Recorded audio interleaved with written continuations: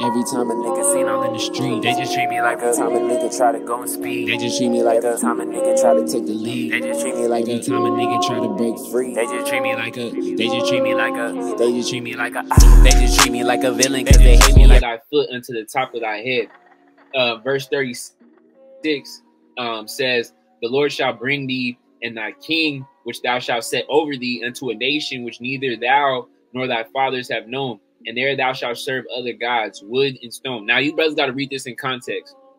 It says, The Lord shall smite thee, bring thee, and thy king, which thou shalt not set over thee. This is Deuteronomy. This is before Israel had a king, because I don't think that was until, uh, what was it, uh, First Samuel or Second Samuel when they got Saul? It's uh, First Samuel with uh, Saul, yeah.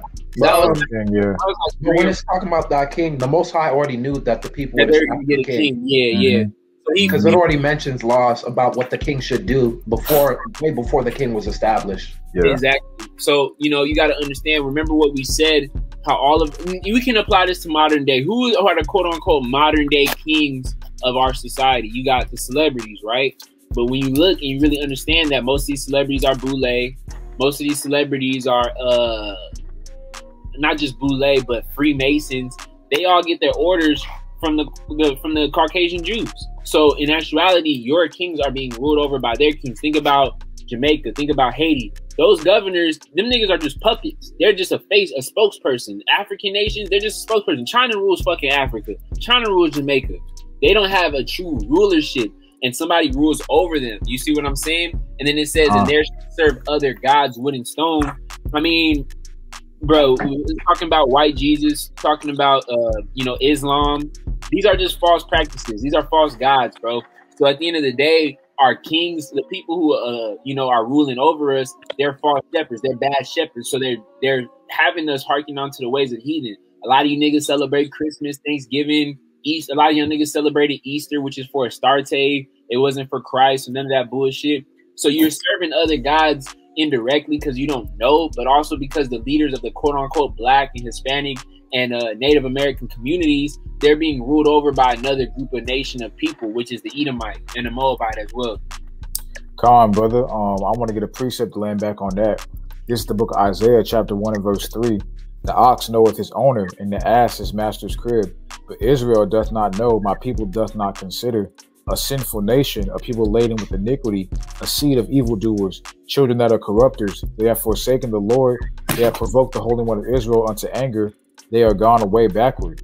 You know, so it's just showing you right there that, and, and what is and what is a lot of the cause of that is because the, the quote unquote kings of our people, you know, the people that are set on high of our nation, and also the people that are ruling over them as well, you know, are causing are leading our people in the um you know in a way of, of not under in a way away from about Shemi Hawashai, a way to not under you know a- away from our true heritage, you know, in the direction of the serpent, in the direction that's going to get you more entangled with the world and the whims of the world.